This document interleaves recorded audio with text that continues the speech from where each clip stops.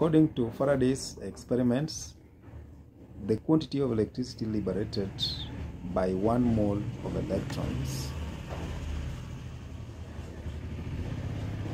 is constant. Is constant. Is constant. It has a numerical value of approximately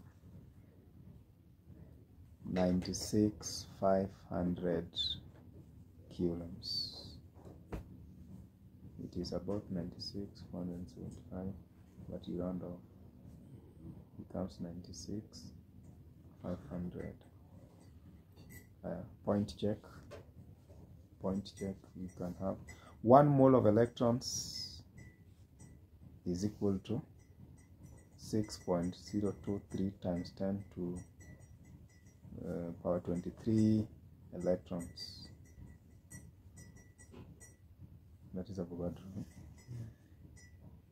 Charge on one electron, charge on one electron is 1.6. You did that one in physics. 02 times 10 to negative 19 coulombs. Quantity of electricity quantity of electricity? Quantity of electricity uh, per mole. Quantity of electricity per mole.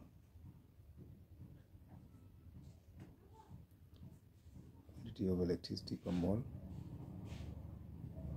is equal to 1.062 times 10 to negative 19 times 6.023